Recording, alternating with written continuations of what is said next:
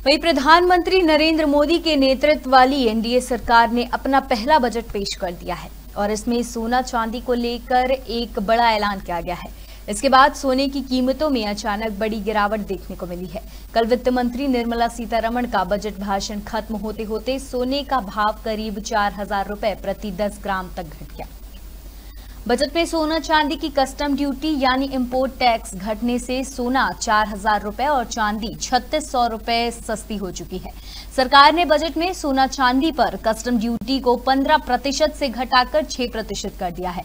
इससे भाव में ये गिरावट आई है। वही बजट के अगले दिन यानी आज 24 जुलाई को सोना 408 रुपए से गिरकर उनहत्तर हज़ार एक सौ चौरानवे रुपए पर आ गया है।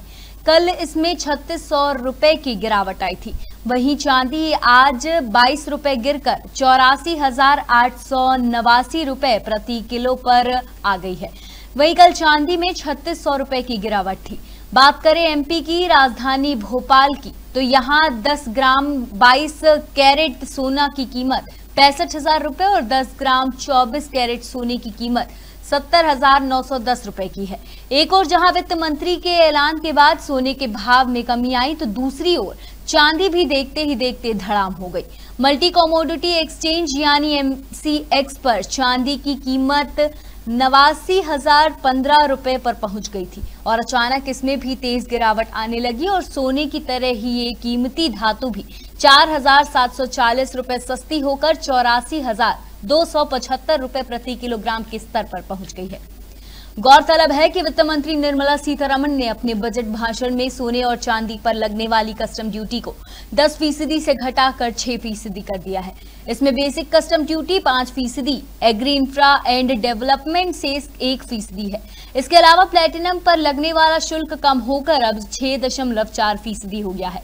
इसके अलावा वित्त मंत्री के बजट के ऐलान के मुताबिक इम्पोर्टेड ज्वेलरी पर भी कस्टम ड्यूटी में कटौती की गई है। दरअसल सोने और चांदी पर सीमा शुल्क घटकर 6 प्रतिशत कम कर दिया गया है। इससे घरेलू कीमतों में भी गिरावट देखने को मिल सकती है और गोल्ड डिमांड में बढ़ोतरी हो सकती है। सोने और चांदी पर मौजूदा शुल्क 15 प्रतिशत है, जिसमें 10 प्रतिशत बेसिक कस्टम ड्यूटी और 5 प्रतिशत एग्रीकल्चर इंफ्रास्ट्रक्चर डेवलपमेंट से शामिल था। वित्त मंत्री के ऐलान के बाद अब पाँच फ़ीसदी बेसिक कस्टम ड्यूटी लगेगी, जबकि शेष एक फ़ीसदी होगा।